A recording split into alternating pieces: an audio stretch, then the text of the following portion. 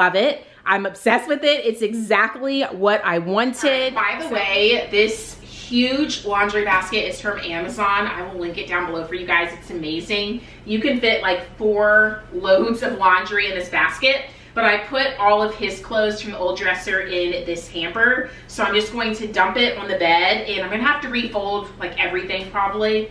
And yeah, so that's the plan for that. Um, I'm just gonna like dump it all here. We're gonna refold it and we're gonna get it back added into the drawer.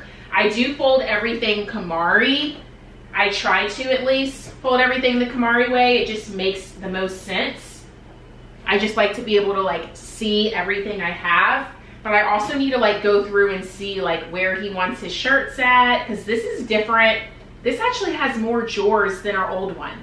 So I could probably just figure it out. But yeah, I'm just gonna take everything out of this basket and then we're gonna get everything folded and add it back in. Okay, so what I did was I made little sticky notes. These are just like sticky of what I want to go in each drawer. So I have like workout shorts, workout shirts. I just kind of went through all of his stuff and made sticky notes and then if I planned it correctly, he should have two empty ones at the bottom where he can do whatever he wants with those. Um, but I think that should be enough drawer space. And if I have to use the ones at the bottom, we will. But everything is organized. So let's go ahead and get everything folded and then we can add it back in. Okay, so I wanna share with you guys how to fold KonMari. I've been doing this now probably for about three years. The idea behind it is when you open your drawer, you should be able to just see everything like upright so you don't have to like go through stuff and nothing's underneath it. So it's super simple to do. So if you're doing a pair of pants, first thing you wanna do is you wanna get a flat surface and I can do this super fast. I'm just doing it slow so you guys can see how I'm doing it.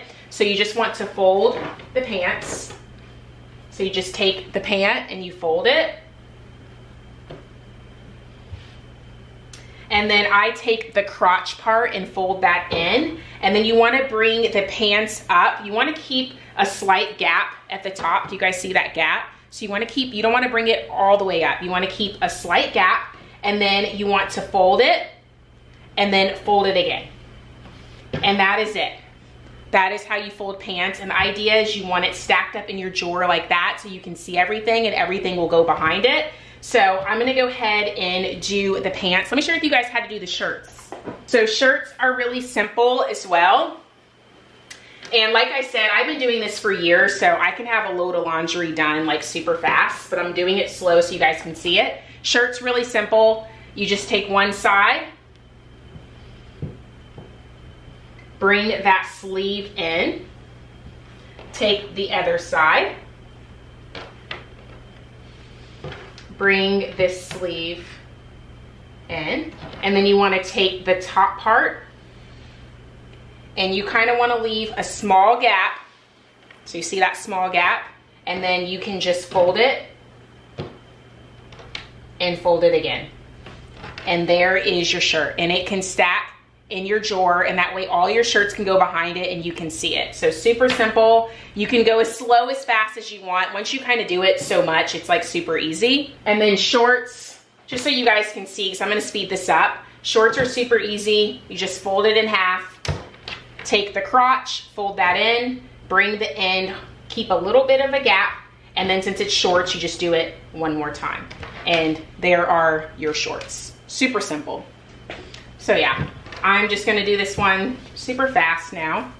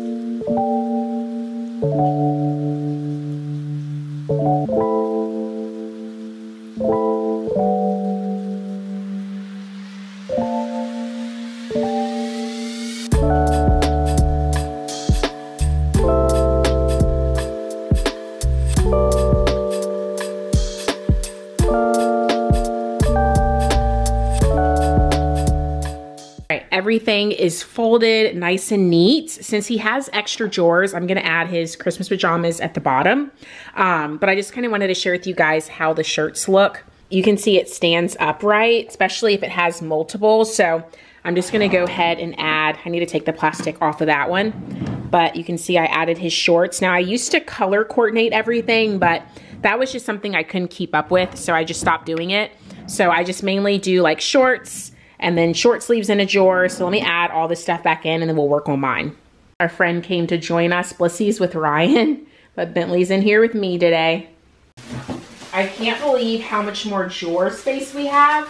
We do have about two loads of laundry that still needs to be folded, but for the most part, like we have extra, I think I'm gonna have some extra drawers too.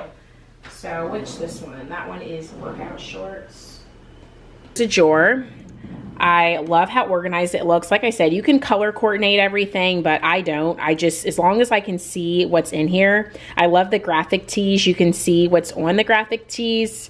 And it's just really nice that you can see everything. You don't have to unfold to get to everything. You can see his white shirts, his graphic tees, like everything's just nice and organized. So I just added everything from like the old dresser into this basket. Besides my workout clothes, I'm gonna keep that in that dresser and just do that all workout clothes since I have so many. This is just like all my lounge clothes. And I needed to refold it because it was starting to get really messy. So I just threw it in here. So I'm gonna refold it and then we're gonna add it to this chest.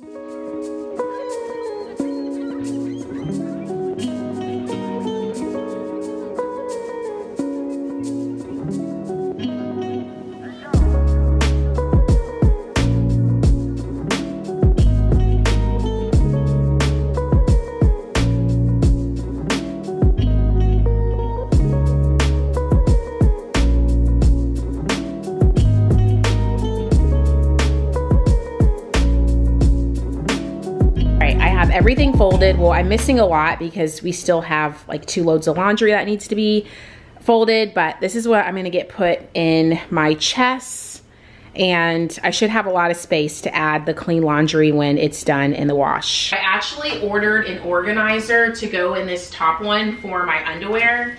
So that should be here any minute now, honestly. says it would be here soon.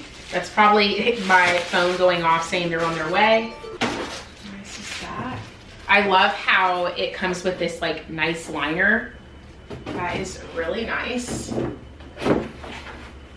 So yeah, the top one's gonna be underwear. And then the bottom one is going to be bras.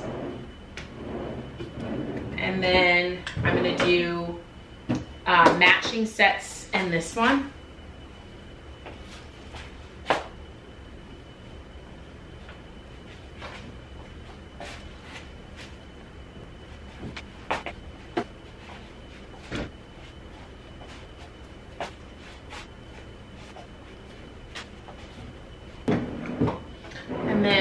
Can do shirts and pants And this one.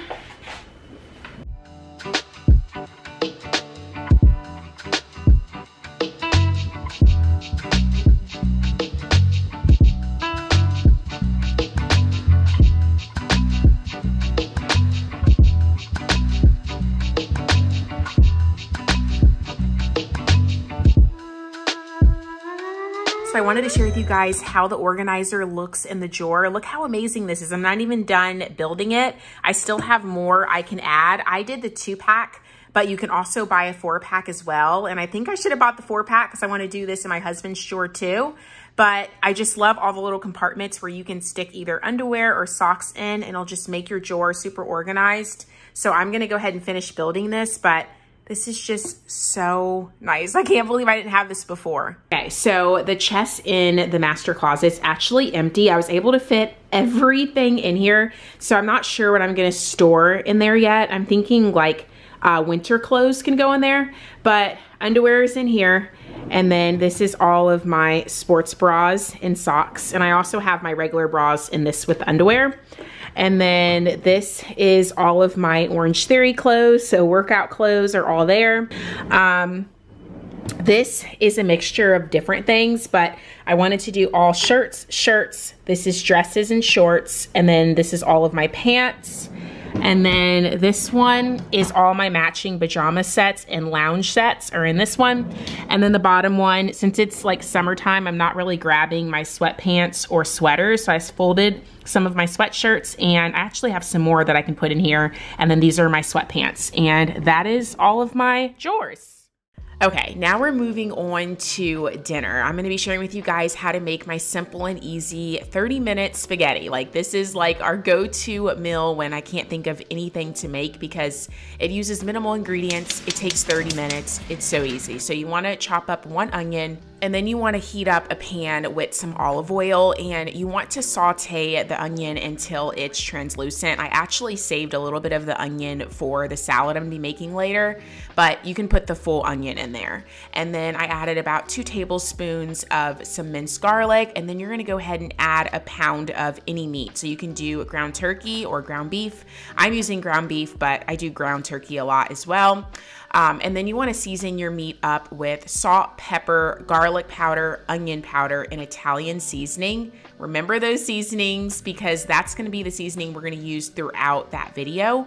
How I get my spaghetti super flavorful is you want to season every single layer. So we season the meat, we drained it, we added it back to the pan.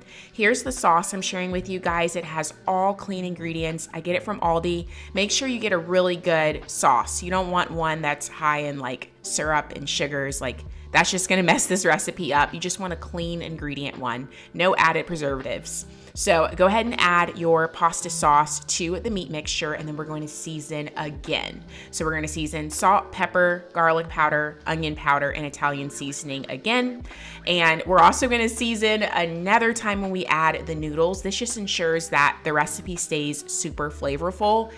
This recipe just has so much flavor, you guys. So seasoning this up, gonna give it a good mix in, and then we're gonna let it sit on the stove top for a few minutes. So I have the sauce just simmering. The noodles are all done. Drain them and now I'm adding them to the pasta sauce mixture. You want to give it a good mix and you guys probably guessed we're seasoning again. So you're to go ahead and season now with salt, pepper, garlic powder, onion powder, Italian seasoning. I told you we're to be using that seasoning a lot. Season it very well. Give it a good mix.